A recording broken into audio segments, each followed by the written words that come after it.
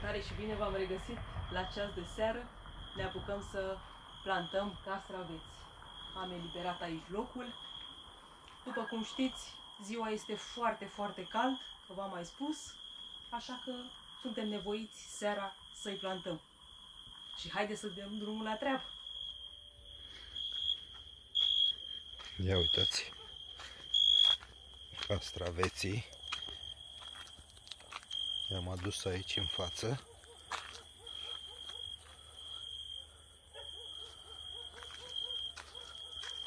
Și vom începe să îi plantăm.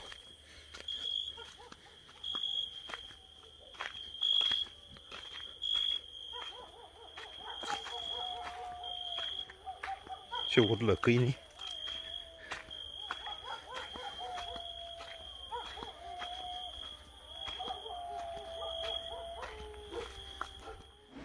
Am ales să plantăm seara pentru că ziua este foarte cald și nu neapărat pentru noi, cât pentru tinerele plante.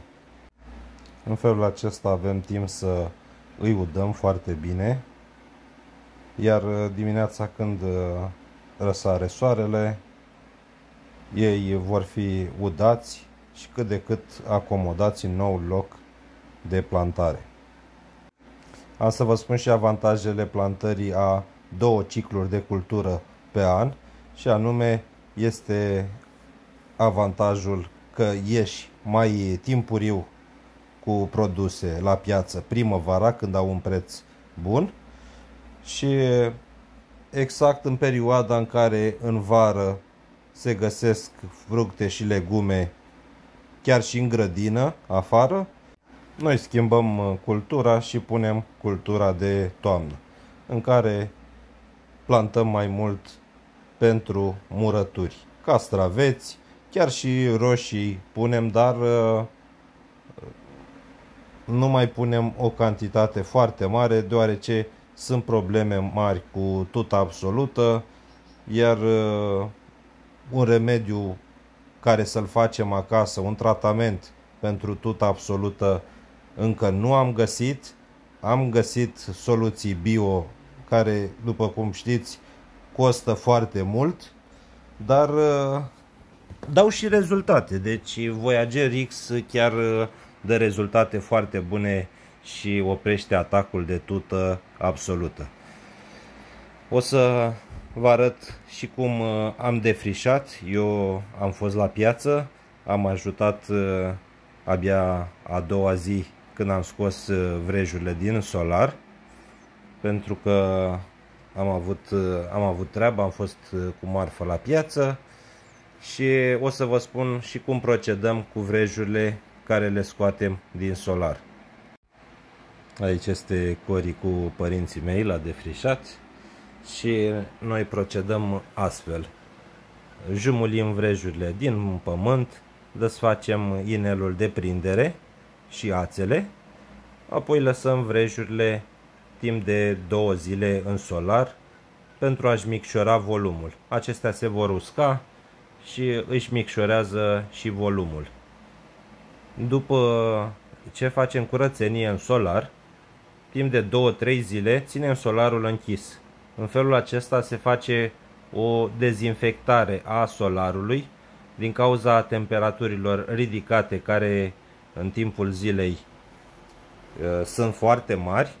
Deci, uh, vă dați seama, este o biosolarizare. Moare insecte, moare tot. Chiar pot să vă spun că am găsit uh, și broscuțe care au murit. Nu am avut nimic cu ele, dar dacă s-au găsit în solar, au primit același tratament, ca să spun așa.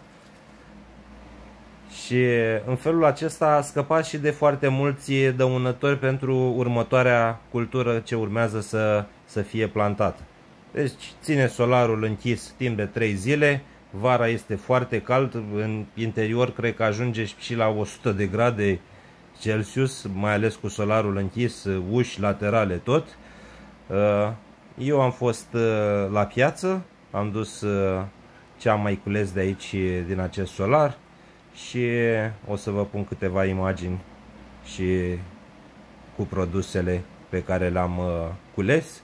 Sunt ele mai crăpate, roșiile puțin, nu mai este ca prima mână, ca să zic așa, dar totuși am avut o producție destul de bună și uh, o, să vă, o să vedeți ce, ce roșii avem chiar și ultima tură, ca să zic așa. Uite ce roșii am. La piață.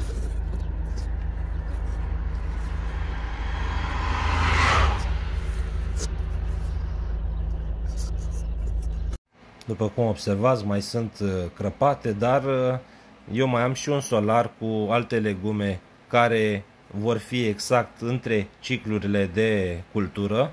Deci eu practic nu rămân fără marfă, dar uh, din acest solar care am defrișat, cam asta e marfa ce am adunat-o acum ultima dată. Este marfa destul de frumoasă, am avut și ardei, dacă aveți mai multe solari cum avem și noi, este bine să aveți și un solar cultivat care să producă legume în perioada dintre ciclurile de cultură, adică cam în perioada aceasta. Să aveți marfă bună în această perioadă care se coace acum până va apare ciclul 2 de cultură în care puteți să recoltați. Noi mai avem în alt uh, solar, dar uh, și această cultură în care avem în solarul celălalt, tot așa o să se termine roșiile, deci pe toamnă de tot eu nu o să mai am foarte multe roșii, pentru că v-am spus la roșii sunt uh, probleme mari cu tuta absolută, iar în toamnă de tot ar trebui să stăm mai mult cu tratamente pe ele și nu se mai rentează, adică Uh, chiar dacă fac tratamente bio, acestea sunt scumpe și nu mai acoperă costul uh, de producție cu prețul de vânzare și nu mai nu rentează. Deci pe toamnă eu voi avea mai puține roșii. Cele care le vom avea, le vom vinde, mai mult mă bazez pe castraveți. În această perioadă, de asta am și postat mai rar, suntem cu schimbul de cultură și în perioada următoare vor urma tratamente pe care noi le facem la castraveți împotriva păianjenului roșu. O să vă spunem niște rețete pe care le puteți face și dumneavoastră acasă și sunt foarte, foarte bune și vă ajută în combaterea dăunătorilor la castraveți. Ca și avantaje pentru cultivarea a două cicluri de cultură pe an, este aceea că rupeți vârful la 4-5 legături la tomate, să zicem, și ieșiți cu ele mai timpuriu pe piață când au prețul mai bun. Iar uh, cultura de toamnă veți ieși cu legumele mai în toamnă când uh, prețul din nou se ridică. Adică nu mai există legume și fructe în grădini și atunci prețul din nou crește. Deci cam ăsta ar fi avantajul. Iar ca dezavantaj este acela că trebuie să plantați vara când uh, temperaturile sunt destul de ridicate. Cum ați văzut și noi plantăm seara castraveții când este mai răcoare și după cum v-am spus uh, este în binele răsadului, nu neapărat pentru noi, că noi ne-am obișnuit cu căldura din uh, solar. Ia uitați, deja i-am plantat. Am dat și drumul la apă.